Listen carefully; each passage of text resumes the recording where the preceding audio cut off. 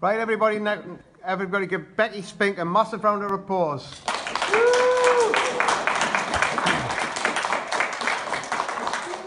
So first of all, I just want to ask um, for people just shout out. Um, basically, what is your reason why? What's your reason for doing this business? I don't want a boss. Well then, So that's much for money. money, migrant money, yeah. Pension, flexibility, Extra luxuries. extra luxuries such as Holiday. yeah, simple achievement. Yeah, lovely. So as you can see, your reason why is not necessarily the same as someone else's reason why, and there's lots of different reasons. So the clicker's not working, so I'm just going to quickly load these up here. So you can see we've got money, we've got family, we've got choices, we've got freedom, holidays, my car. That is a picture of actually what's going to be my car. But like I've just said, there's lots of different reasons why people do this business. And it might be more than one reason, it's not necessarily just for one reason, but there's lots of different reasons why. So next I want to ask, is your business working? Show of hands if your business is working as you see. yeah, few, maybe a little bit. Okay. So are you being distracted? Yes. Yeah? Are you being distracted? Now, it might be that your business is working beautifully and you are more than happy, you are achieving what you want from this business. And if so, that's absolutely fantastic. Switch your ears off because I don't mean to talk, talk to you guys, yeah? But it might be that you are being a little bit distracted. Are you using all the tools that are available to you? No, Now, you just heard Mike and Michelle talk about the catalogues. Mm, don't do catalogues. I have eight catalogue customers. So I am online, online through and through.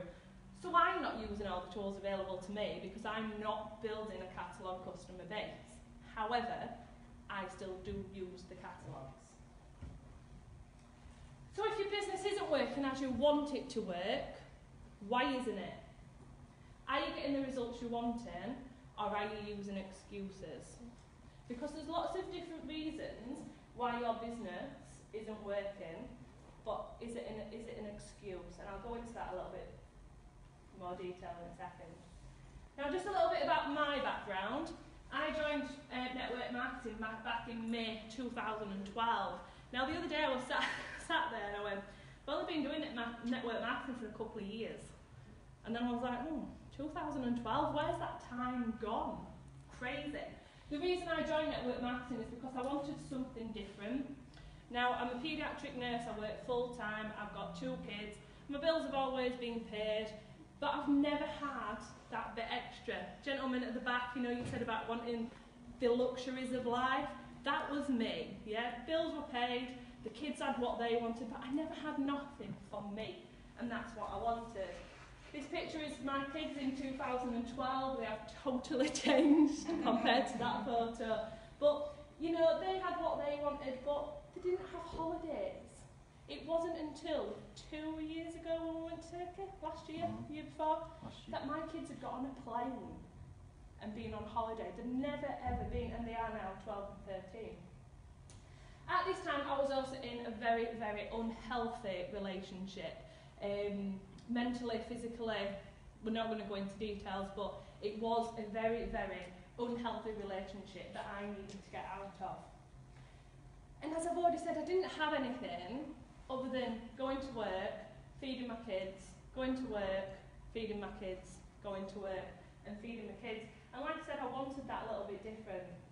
Now, what I did have is I had my own self worth. I had the belief that I could change. I could get out of that unhealthy relationship. I could have them things that I wanted to have. And that were my goals. They were my goals. Although I didn't know that at the time, it's only from obviously doing personal development and changing as a person that actually they were the goals that I had set at the time. And obviously I had my friends and family to help me with that as well. So just going back to that quote, again, if you want something in life you've never had, you will do have to do something which you've never done before. Now, we don't mention this too often, but uh, I'm going to refer to it today. In our previous business, I were hitting goals. I got to gold within seven months of joining that, that network marketing business. I went across the stage as a gold dis- distributor. We're hitting incentives. Um, we got the, um, I've even forgotten what it was Trips. called.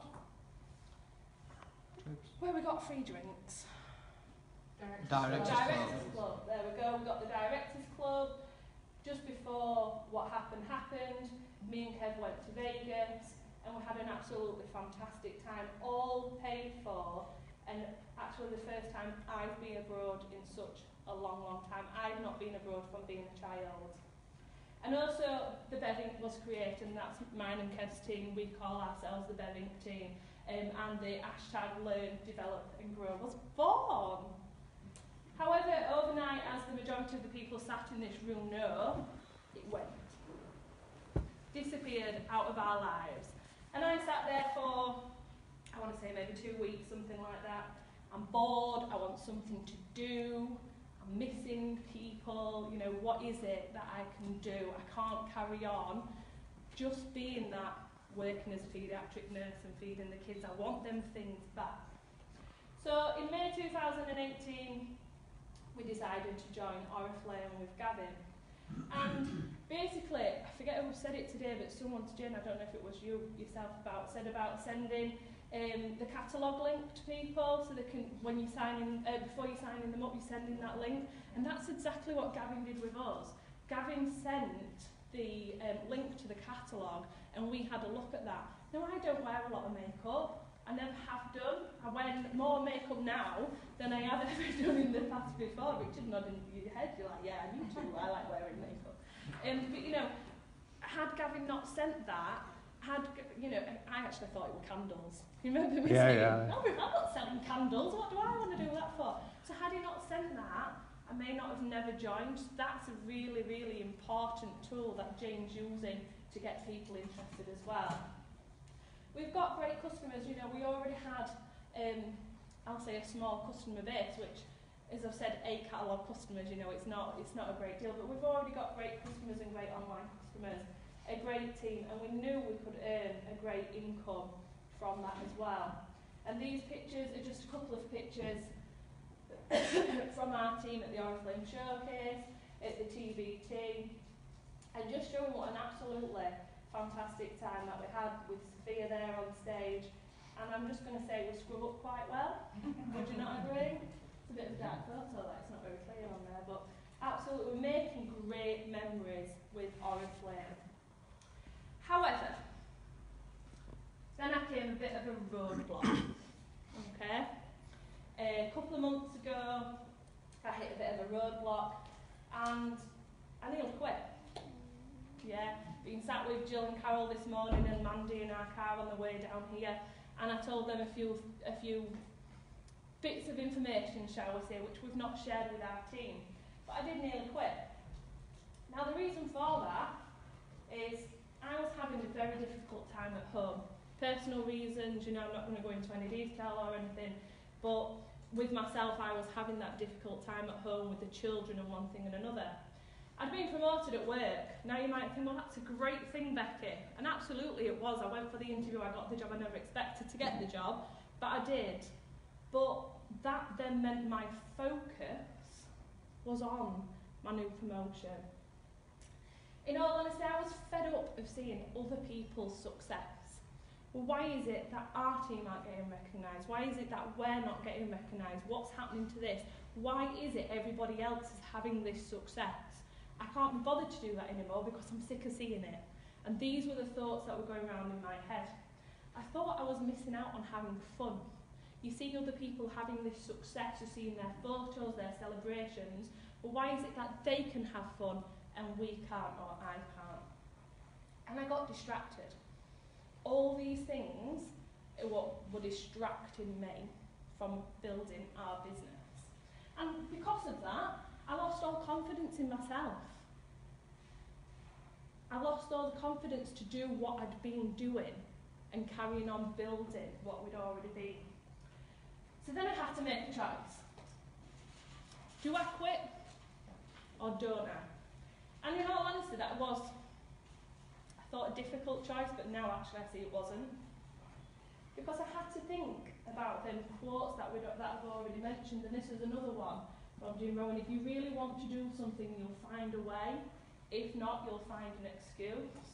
So if I just go back to this list, difficult time at home. Raise your hands if you have a difficult time at home from time to time. Majority of the room, yeah. Have you ever got a promotion at work or got a new job? Put your hand up. Yeah. Fed up with seeing other people's success? Yeah. Thinking that you're missing out on the fun? These are all just, yeah, me too, Colin. These are basically, they're just excuses. And the thing is, is you can have results or you can have excuses, but you can't have both. And when you feel like quitting, you have to think about why you started. What was your why? Them things that people have been shouting out, the things that I showed on the screen at the start. What is your why? So, I'm going to go back to my favourite quote that I've shown quite a few times already. If you want something in life you've never had, you'll have to do something you've never done. And you have to keep doing that day in, day out. So what did I do? I went back to posting. I decided that I weren't quitting. Am I stupid? Am I really going to give up on what we've got our hands on? This gold mine that we've like, you know, like you said, Michelle? Really think about what it was. So that night, I went back to posting. And that night alone, I sold 50 quid of products. Just in one night. I gave eight books to customers the following day. Remember, I said I've got them eight catalogue customers. I gave them books out and I got £80 of orders, so the average is £10 a catalogue. And I sent follow up messages, review posts, competitions. I do goodie bags, so you heard Michelle say about um, £125 of free gifts that they get. What I do with our free gifts is I do goodie bags for £5 and £10. I, I did eight £10 ones, eight £5 as well. Yeah, so yeah. anyway, I heard over a 100 quid. People didn't know what were in these goodie bags. All that I did is put all the stuff that I had on a table, took a photo of it, so it was a group picture of the photos, put that up on my Facebook post, on my Facebook group, with a post to say these products are going to be in the bag, £5 and £10, who want one? And they sold like that. Absolutely amazing. Customers that I'd already had, Um, and brand new customers as well. So what did that do to my confidence? Straight up. Turn the heating up and up it went. Now it's really, really easy to get distracted. It's really, really easy to have these excuses. But it's also really easy just to get on with it, just to do it, just to do what you do best, whether that's online, offline, mixture of both. Think about what it is that you want from this business. So the moral of my story, and I do apologise if this offends anyone, but I'm going to say it anyway, shit happens. What's most important is how we deal with it that matters. It's your mindset of how you're going to move forward. I could have very easily have quit and lost all of this. On average, we're earning around anything between sort of 600 and 900 pounds every three weeks. Why would I want to give up on that? You know, it's, it's crazy, isn't it? Crazy. So I just want to give a few top online retail tips. Okay, just show of hands who does online. One, a two people, fabulous. So, let me just put my, what my myself do. So, posting daily, just like the catalogues, you have to be consistent with what you're doing. If you aren't consistent, you are not going to build an online business. It's as simple as that. So in terms of your timeline, so this is your own timeline, your own profile page, you have to remember the correct ratios of 70, 20 and 10. You have to remember that Facebook is an online social media platform. So you have to be social on it. So 70% has to be personal. Now that might be you're out for the night um, at the pub, or you're walking the dog, or you're out with the kids, or you're taking some pictures of flowers, I don't know, whatever. Whatever it is that you like doing, it has to be personal. Your hobbies, anything like that. 20% has to be business related. But that is not selling. So, it might be nail varnish, for instance. You take, you've just done your nails, you take a picture of your nails painted and you share it and say, I love this colour, this is my new favourite colour. But you are not selling it, it's indirect. So you are advertising your business indirectly. And then 10% needs to be about selling or recruiting. So basically, one in 10 posts selling products or recruiting people. On your timeline, if you just go hard sell, hard sell, hard sell, people are going to unfollow you. They're not going to necessarily unfriend you because you can then work out. If Sheila unfriends me today and I go to look for Sheila's profile tomorrow, I'll be like, well, she's unfriended me. And that's because she's sick of seeing my posts. But you can now be unfollowed and people don't know that you're being unfollowed. So nobody is seeing the posts that you're putting out there if they are unfollowing you. So make sure you are not annoying your friends and family and work colleagues and people that you have on Facebook. Stick to these ratios. Who's got a, their own Facebook selling group? Perfect. So within that group, you need to be posting consistently every single day. She hangs her head in shame. Three posts every single day. I'm getting back there. I'm getting there. Yeah? Three brand new products every single day. But what's most important about these these um, pictures that you're putting in there is make them personal to you. Create your own content. We've just been discussing this in the break about the Oriflame social. It's brilliant, and I really see the logic behind it, and it is really going to move forward once it's been fully built. But what's happening at the moment is because Oriflame Social have got suggested messages, everybody's sharing the same content. Facebook pick up on that, and although Facebook aren't necessarily banning people at the moment, they are not showing your content if everyone's doing the same content. It works on pixels. So on this screen here, if I was to have a picture on, well, even as, as words, that has got thousands and thousands and thousands of pixels within that. If we all shared this screen on Facebook, that would alert them, and then they're not going to show that content to anybody.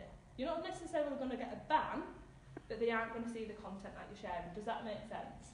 Yeah? So although I love Oriflame Social and I really understand the basics behind it and, and I think, you know, in future we're going to do really, really successful things with it, people have to be mindful of how they're using that and try to avoid using the suggested messages. Create your own content, be yourself. Yeah, everybody's different. With the personalities that Gavin did earlier, use your own personality to create that content. External groups. I don't know how many external groups I'm in, literally hundreds and hundreds and hundreds, and I can share to the, them external groups a quite high amount of posts because I am active on Facebook. Now we used to stand at the front of the group and say to people you need to be posting this amount of posts every single day, three times a day, on a morning or an afternoon and an evening. We can no longer do that because Facebook pick up on it. So what we're saying now is it depends on how active you are to how many posts you can get away with doing. So just be mindful if you're active on there, if you're tagging in places. So, so girls at the back, Mandy, Jill and Carol, they've all tagged that they're here today because that's a tick to be active on Facebook. Yeah? Whenever you go anywhere, tag that you're there or take a picture and share it. That's all adding up to your Facebook reach. And Marketplace, who uses Marketplace? Like seriously, what can you not get on Marketplace anymore? Literally you need something, you can find on there. So again, it's about using all the tools that are available to us. Follow-up messages. So this is a, um, the message that I send to my customers. You heard Michelle say about they, they have the book um, with their catalogue customers. I have an Excel spreadsheet. I agree. You don't need everything that that crazy person does. It was ridiculous. Yeah, literally on my Excel spreadsheet, it has my customer's name, the link to their Facebook Messenger, and when they last ordered. And I think I do have what they ordered last, but it's in terms of a foundation or a nail varnish or whatever, you know, just so I can personalise some of my follow-up messages some of the time. So I literally, I open up my Excel spreadsheet, I click on all the Facebook links, and this will open them all up at the tab at the top, and it takes me less than 10 minutes to message, uh, I think it's about 35 customers that I've got on there. And I copy and paste, and then change the message around a little bit to personalise it to that customer. So, hi, hope you're well, I was happy with your last order of the foundation or the nail varnish or whatever. I just wanted to let you know that I'm placing an order next Friday. If there's anything you'd like from our new catalogue, put the catalogue link in there. It saves the person having to find it. Also, we have some amazing offers over, over on our Facebook group. Put the link to your Facebook group. Because all that customer has to do is click the link and it's going to take them directly to your group. They're not having to search for it. With up to 65% off some of our fab products. If there's anything you'd like, just drop me a message. So really important that you are following up your online customers just like you would do with your catalogue customers.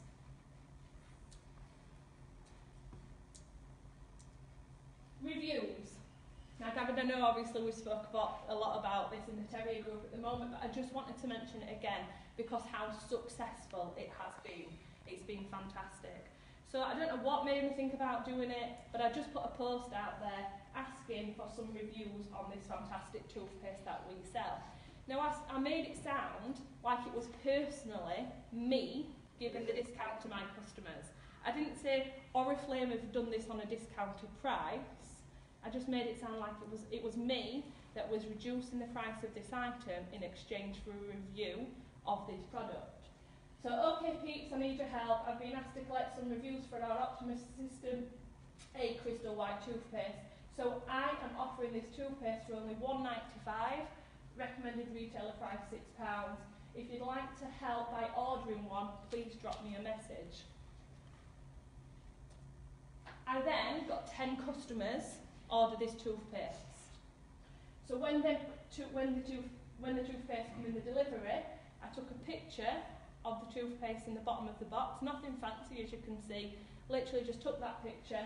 Lots of toothpaste going to customer with 65% off and it's on offer for just 195 in exchange for honest reviews. Anyone else interested? I have five more spaces for reviews for this fantastic crystal white toothpaste. Drop me a message.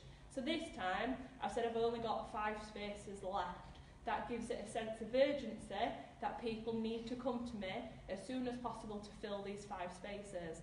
From that, I got a further six orders. Okay, then them customers don't know that I'd only got the five. Okay, just gives it that sense of urgency. So I've got 16 customers from a £2 toothpaste just by putting it on my profile. You can see here some of the comments. So Hannah, me, I'll review it. She's an old customer but hasn't ordered for a while. Hi Becky, can I have some more information on the toothpaste please? Hi Becky, just seen your status about the toothpaste. Would I be able to have one? This customer, Caitlin, brand new customer. I message, of course, whereabouts do you live, please? Okay, because obviously at distance, I'm going to post it to them, so we have to make sure that they're happy with that cost. This customer lives three doors away from my house.